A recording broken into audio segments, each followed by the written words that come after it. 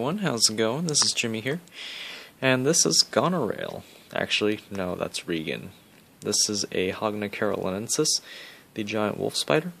Now, I did a handling video of, of her a, a while back, but I'm going to try and attempt to do it again. Uh, her fangs are out, it seems. Oh, not really. But as you can see, spiders are not as mean as people say they are. That. Just calmly sitting there. Very gentle.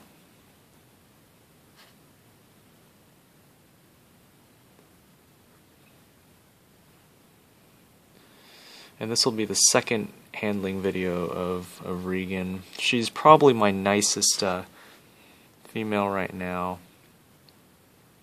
Which kind of sucks because right there that's uh, that's Cordelia. Cordelia used to be my nicest female, but then she became mean. Here's Regan, who uh, is actually very docile. So I can, you know, just carry her around all day. Oh, there's a Carolina mantis, by the way. Still alive, still doing well. And see, look at that. Very content on just sitting there and not doing anything. And I think I'm just going to cut off the video right now. She's not really doing much, just sitting there. So I hope you guys enjoyed this uh, short handling video of Regan.